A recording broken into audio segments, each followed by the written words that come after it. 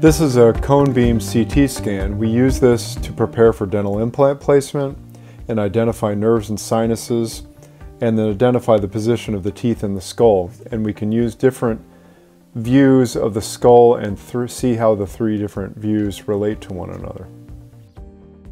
Today we're going to take a cone beam scan with Denise here.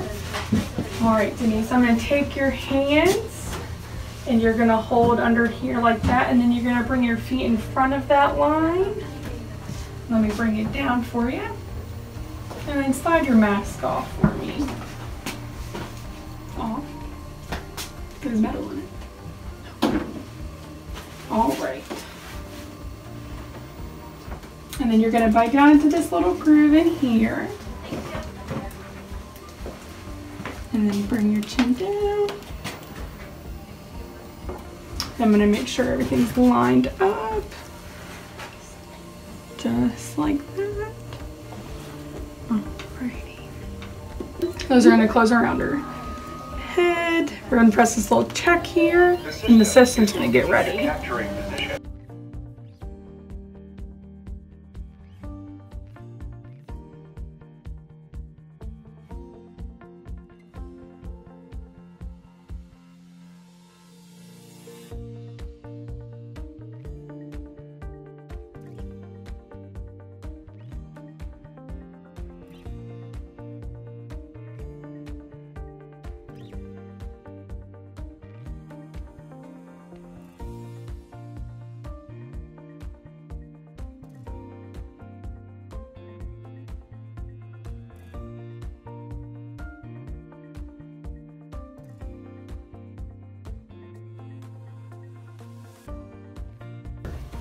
All right, it's just reconstructing the image that we just took from the CB, from the cone beam scan.